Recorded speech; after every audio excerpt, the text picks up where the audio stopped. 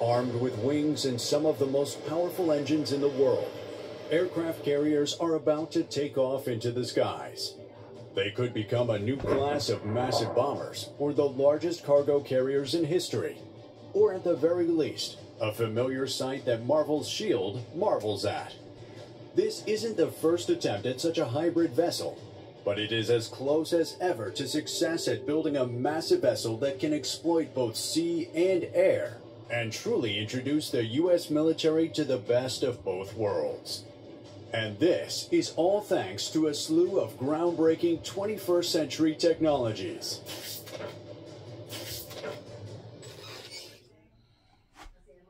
As far back as the 1920s, the U.S. military set out to build flying aircraft carriers and in two cases even succeeded.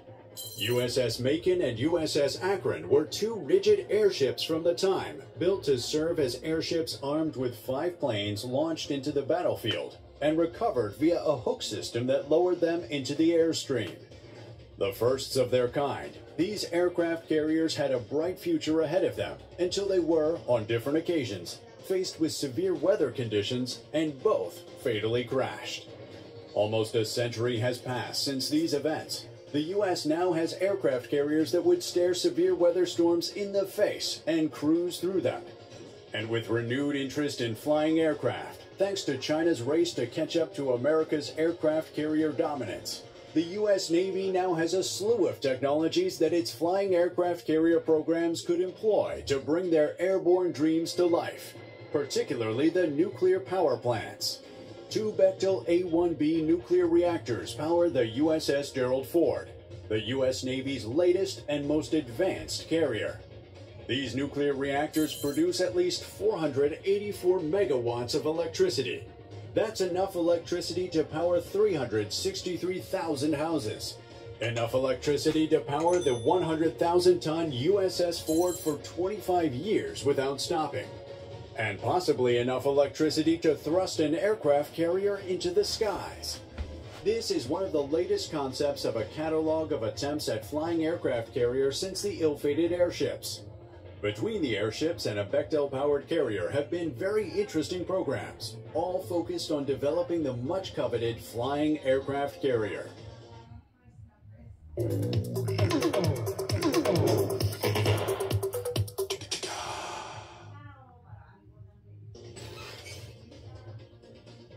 At least four different flying aircraft carrier programs have gone through the U.S. military, each one as interesting as the next.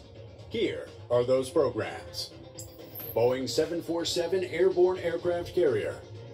The 1970s came with the U.S. Air Force experimenting with the idea of converting one of its large aircraft into a flying aircraft carrier, full of parasite fighters that could be deployed and even recovered in midair.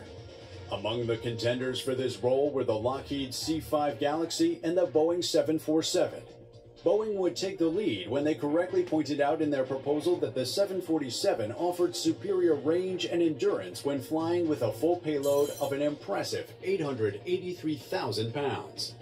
The 747 would therefore be able to carry up to 10 microfighters at a time, Boeing would specially design and build the microfighters to be small enough to be housed within the 747, along with an apparatus that would allow the large plane to carry the fighters a long distance, drop them where they were needed to fight, recover them once again, and refuel them if need be.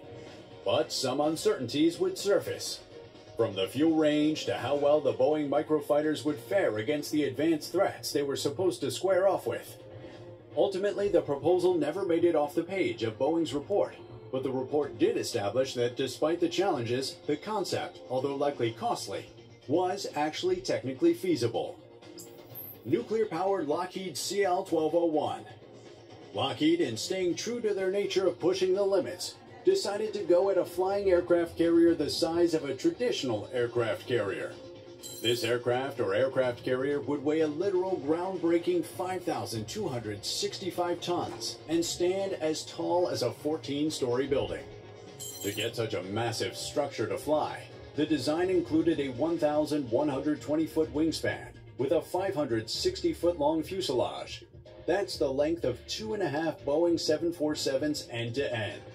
The Lockheed CL-1201 could, however, surprisingly be powered by only four huge turbofan engines powered by regular jet fuel to an altitude under 16,000 feet.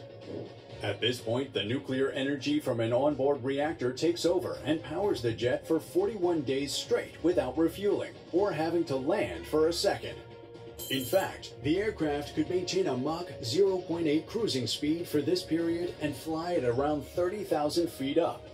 This massive aircraft would have a crew of 845, be able to deploy 22 multi-role fighters, and maintain a hangar bay for repairs, but would also likely cost billions of dollars and far too many labor hours to produce and maintain, which must have contributed to why the aircraft never made it past the proposal stage but its concept to this day stands as a historical anomaly that continues to inspire renewed attention from the world. The B-36 Peacemaker The B-36 Peacemaker strategic bomber was another aircraft intended to be upgraded to carry microfighters to launch. Its microfighters would be the McDonnell F-85 Goblin, and it would house up to four of them, the B-36 was the ideal pick this time in the 1950s, thanks to its massive size and weight. Its 230-foot wings would dwarf even those of the B-52 Stratofortress and cement the B-36 as one of the largest aircraft to ever take to the skies. Its weight comes in at an astonishing 410,000 pounds when fully loaded with fuel and up to 86,000 pounds of weapons. Despite all of these bragging rights, the B-36 would never fly an operational mission, as although it was designed to give the U.S. the capability of bombing Berlin efficiently, World War II would since have ended by the time it was ready. However, its massive size and range prompted the Air Force to consider its use as a flying aircraft carrier. But that too would not come into fruition as the advent of mid-air refueling dramatically increased the operational range of all varieties of aircraft and ultimately undermined the importance of the range of the B-36 Peacemaker. Lockheed C-130 Hercules Away from the attempts of the 1900s, the U.S. has relatively recently been looking into a new flying carrier program. Since 2015, the United States Defense Advanced Research Projects Agency, or DARPA, has been investigating the prospect of using a modified Lockheed C-130 Hercules cargo aircraft to deploy and support Dynetics X-61 Gremlins unmanned aerial vehicles as microfighters.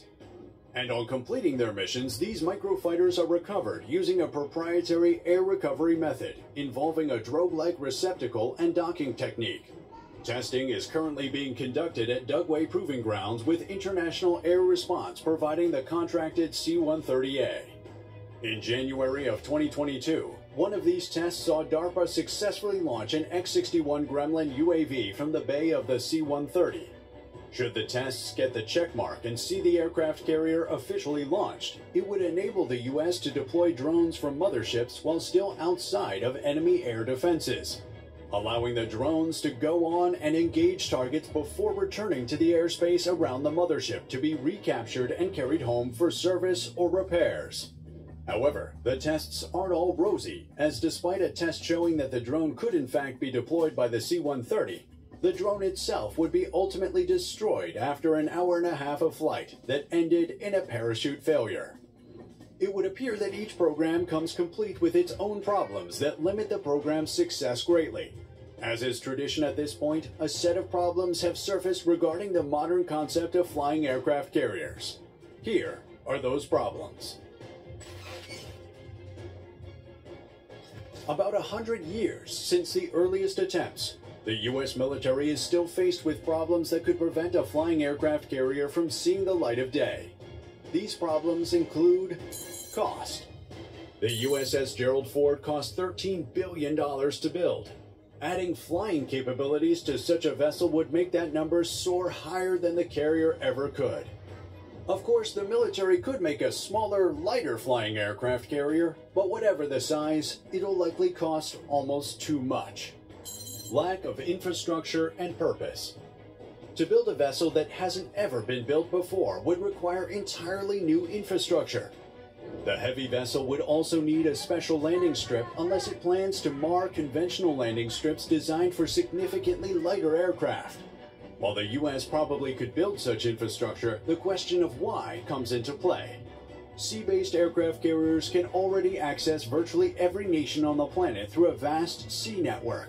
So why then should the US invest billions of dollars into new vessels for the exact same job? Explosiveness. Although rare, aircraft crashes are somewhat inherent to aircraft. Should a flying aircraft carrier powered by a nuclear reactor crash, it would be synonymous with a nuclear bomb detonating. Therefore, no nation wants such a vessel flying overhead.